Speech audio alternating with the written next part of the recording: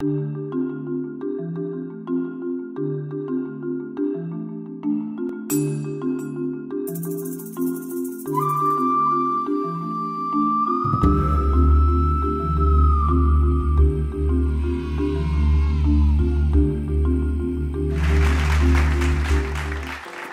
Tenali's Chikki Idea. Written by Dhruv Suvarna, illustrated by Chi Media Private Limited.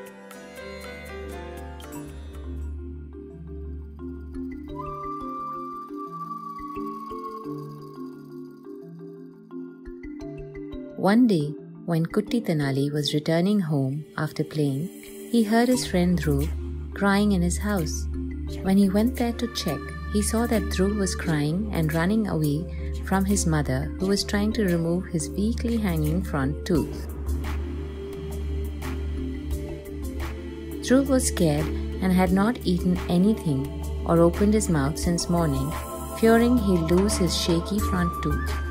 Kutti Tenali showed him his missing tooth and tried to pacify Dhruv. But Dhruv was too scared to understand this.